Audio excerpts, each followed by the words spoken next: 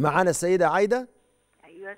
السلام عليكم يا فضيلة الشيخ. وعليكم السلام ورحمة الله وبركاته. اتفضلي. كل سنة وحضرتك طيب. وحضرتك طيبة وبصحة أنا وبسلام أنا ليا سؤالين. اتفضلي. آه، السؤال الأول أنا عندي شقة القسط بتاعها هيجي في أول أربعة ورم أول أربعة ده هيبقى في رمضان. هل أطلع وعندي فلوس هتخرج زكاة أطلع قسط الشقة مش زكاه الأول ولا لأ؟ أنت ولا- قصدك أطلع قسط الشقة من حساب آه، الفلوس اللي عليكي. أيوه لأن الاثنين جاي مع هما الاثنين جايين مع بعض. طيب يعني ده, ده. يعني القسط هي- هي- هيستوفي قبل ما يبلغ النصاب ولا بعده؟ لا مست- مستوفي النصاب. نعم؟ مستوفي مستوفي النصاب. لا أنا مش قصدي. يعني أنت القسط دلوقتي هيبقى شهر كام؟ أربعة؟ أيوه أيوه. طيب وأنت بتطلع وأنت إمتى بتطلعي الزكاة بتاعتك كل في أول سنة؟ رمضان في رمضان. في شهر رمضان. فكده القسط هيبقى قبل هيبقى هيبقى يبقى الزكاة بتاعتك وجبت قبل القسط مش كده؟ آه. لا طيب إذا لا الزكاة بتاعتي أول واحد هتبقى آه، في واحد رم... هتبدأ ابتداء من واحد رمضان قبل كده واحد 30 ح... يعني حوالي اتنين اتنين آه، في اتنين في الشهر يوم اتنين.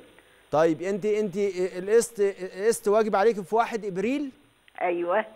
ورمضان كده ممكن يجي 1 إبريل أو 2 إبريل صح؟ بالظبط كده صح. هتخصمي هتخصمي ده لأن هو لسه هيبقى الدين بتاعك خلاص وجب عليكي وأنت. هتسدديه ده. يبقى خلاص الدين دوت بيشغل ذمتك فهتخصمي.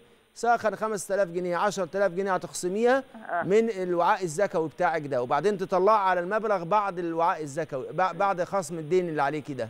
السؤال الثاني بقى يا فضيلة الشيخ. اتفضلي. الحقن. اللي في العضل تفطر ولا لا؟ لا الحقن في الحقن اللي في العضل ما بتفطرش. بصوا يا جماعة كل أنواع الحقن اللي بتتاخد عبر الجلد لا تفطر. سواء بقى كانت حقن مغذية أو حقن غير مغذية سواء كان حقن دوائية للعلاج أو حقن غير كده فيتامينات كل ده آه لا يفطر. ليه؟ لأن معنى كده ان الحاجة اللي دخلت جسمي دخلت من منفذ غير مفتوح. اللي هو إيه ده؟ الجلد منفذ غير مفتوح لكن الفم منفذ مفتوح. الفرق ما بين الفم والجلد واضح ان ده منفذ بيدخل على الجوف لكن الجلد ما بيدخلش على الجوف بيدخل على الأوردة والشرايين ما ملوش دعوة خالص بالجوف ما ما بيدخلش على الجوف مباشرة. ولذلك أي حقنة ما حدش بقى يجي يقول إزاي يعني؟ ده الحقنة بتاعت فيتامين حقنة مغذية. العبرة مش إنه مغذية العبرة إن هي ما دخلتش من منفذ مفتوح. خلينا نفهم ده على طول. ما دام الحاجة ما دخلتش من منفذ مفتوح يبقى ماله؟ سواء كانت مغذية أو مش مغذية الشرع مش جاي عشان يعذبنا.